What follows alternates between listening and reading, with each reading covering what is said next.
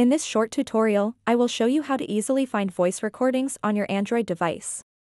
Voice recordings can be handy when you want to save important notes, record lectures or meetings, or simply capture audio for any purpose.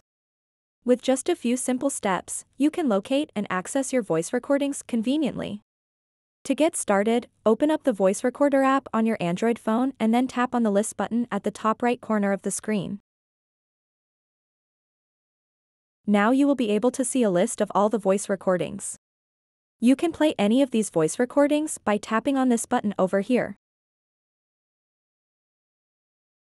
If you want to delete any of these voice recordings, tap and hold the voice recording that you want to delete.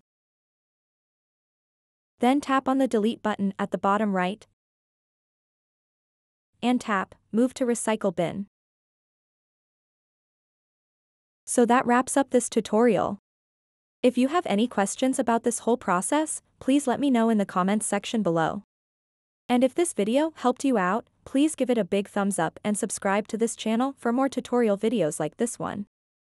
Thank you so much for watching and have a good day.